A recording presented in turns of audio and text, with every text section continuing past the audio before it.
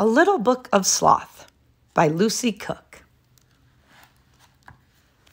It all started with Buttercup. Baby Buttercup turned up on Judy's doorstep as a tiny orphan. She was a few weeks old and desperately needed a new mom. Buttercup's new home offered more slouching opportunities than your average tree branch. So she chose the best seat in the house and decided to stay. Two decades later, she's still there. Buttercup is the queen of Slothville. She rules over her slumbering empire from her very own wicker throne.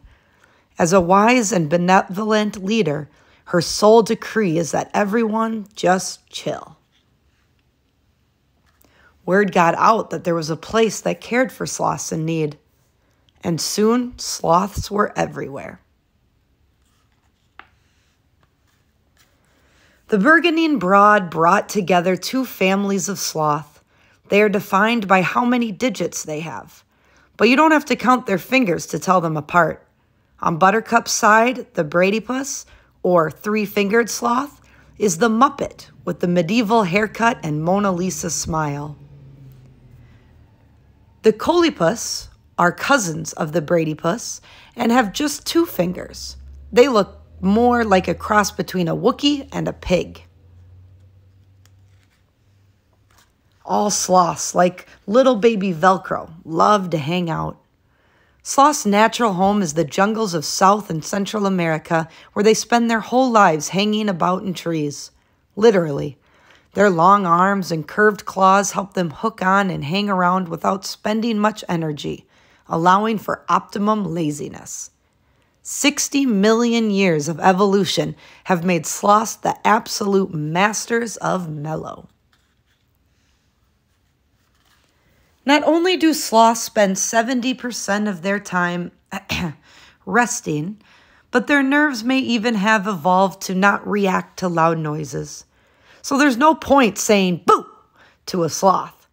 They are simply too chilled out to notice. Sloths aren't monkeys or bears, but xenarthrans, which make them sound like they are from outer space, and they have a sci-fi biology to match. For a start, sloths can't control body temperature like other mammals, so they bask in the sun like reptiles to warm up in the morning. The nights can be a trifle chilly for a baby sloth who no longer has his mom to cling to. So Judy invented specialized sloth onesies for those in extreme need. A sloth can't pop down to the shops and buy these. They are handcrafted from old sports socks. Here's hoping they remembered to wash them first. Baby sloths are Jedi masters of the hug. Their innate hug ability helps them cling to their moms for the first year of their lives. They love to hug so much. Collectively, they form a cuddle puddle. It's important that a baby sloth find just the right snuggle partner so the orphan babies get stuffies to hug in place of their moms. Mateo was especially fussy with his choice. He tried quite a few before deciding on Mr. Moo. Mateo is so cute, he should come with a public health warning. But don't be fooled by his sweetie pie looks. This sloth has attitude. Mateo's a streetwise sloth who was found abandoned near the capital city. He's a bit of a loner and prefers the soft but silent company of Moo to hanging out with the other sloths. If any of the other baby sloths tries to sneak a Moo hug, a fight breaks out. A very, very slow fight in which the winner is the last sloth to stay awake. Wild sloths are solitary animals, but the sanctuary sloths make friends for life. Sunshine and Sammy were rescued from poachers who wanted to sell them as pets. They arrived within days of each other and have been on a hugging marathon ever since. Their party trick is this impersonation of a freaky double headed sloth monster. It makes people squeal, but from cute overload, not fear. Just don't tell Sunshine and Sammy that. If hugging were an Olympic sport, then Ubu would be a gold medalist, but he wasn't always so strong. As a baby, Ubu lost his grip on his mother and fell. When he hit the ground, he hurt his spine, and now his back legs don't work. But plenty of physical therapy has given the paraplegic baby sloth the upper body strength of a champion wrestler. He'll never let go of another sloth again. Even Mateo, who only tolerates Ubu's monster hugs by dreaming of Moo. Ubu's not the only sloth to require special medical treatment. Orphan babies often arrive with broken bones and other mysterious problems. The sanctuary has its very own slothpital to treat sloths with special needs. Some sloths are more special than others, like the twins Violet and Sebastian. Their trip to the slothpital resulted in a serious fashion overhaul. Out went the old sock pajamas, and in came some seriously snazzy bandages. Although Violet was somewhat jealous that her brother got the blue stars, and Sebastian felt that pink was much more his color. Did somebody order a bucket of sloth? Every home should have one. A party sized bucket with plenty of sloth hugs to go around. Bucket, by the way, is the sloth's favorite way to travel. It's fast, it's like flying, and it allows them to snooze on the move. Sweet. What sloths lack in speed, they make up for in fancy arboreal acrobatics. Three fingered sloths are the only mammal on the planet with extra neck vertebrae and can turn their heads up to 270 degrees. So even when they are upside down, their smiles are the right way up. There's no time to be a slouch at the sanctuary. All baby sloths have a daily workout on the jungle gym to polish their climbing skills. Work it, Wally. Wally is a hard-working young sloth dedicated to self-improvement. He has finally learned how to climb up, but he has yet to master the art of reverse and often has to be rescued from the top. At the sanctuary, the sloths take a regular splash and a special green leaf tea to keep their skin healthy. Wild sloths are actually green. Their coats are mini jungles of algae and insects, including a moth that only lives on a sloth. They look and smell just like trees.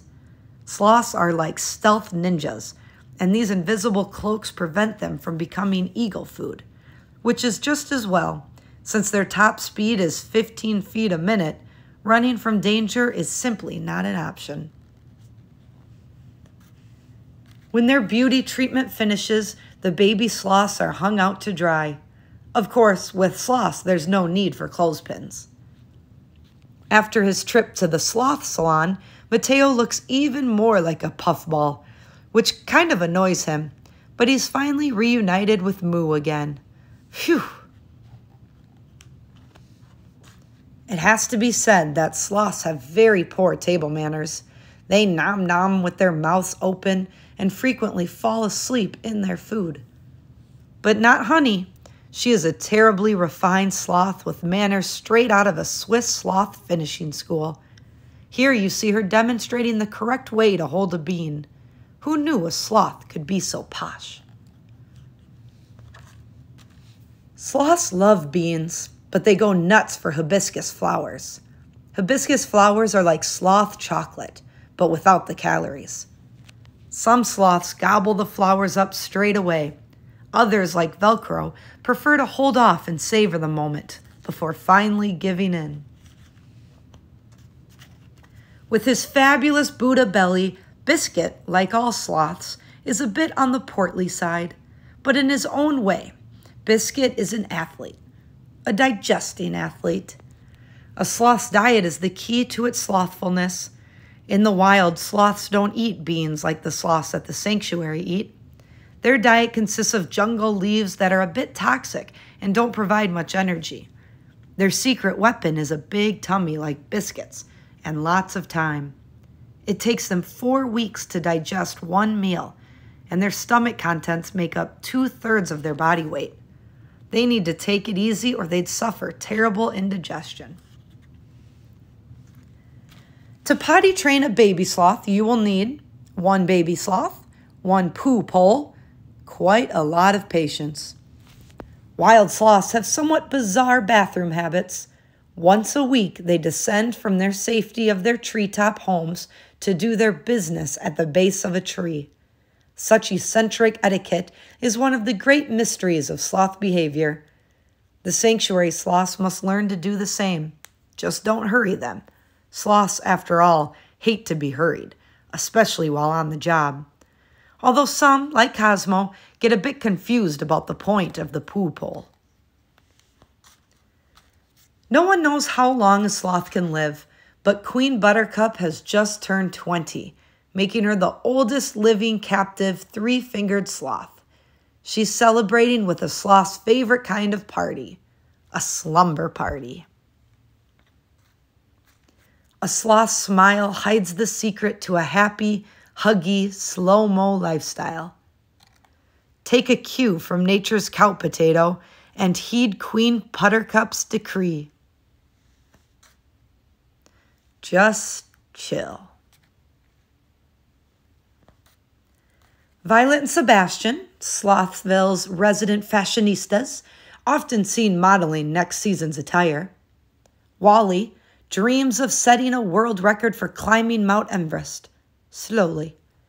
Buttercup, the queen of sloth, throws the best sort of fest, a snooze fest. Honey, behind her sweet smile lurks a super sneaky bean thief. Mateo, the dark lord of cute, has the power to paralyze with a single sloth squeak. Sunshine and Sammy maintain the ideal cuddle ratio one part sleep, two parts arm, and the remaining parts love. Ubu, the captain of cuddles, even practices hugging in his sleep. And Velcro always reaches for the stars, often falls asleep on the way.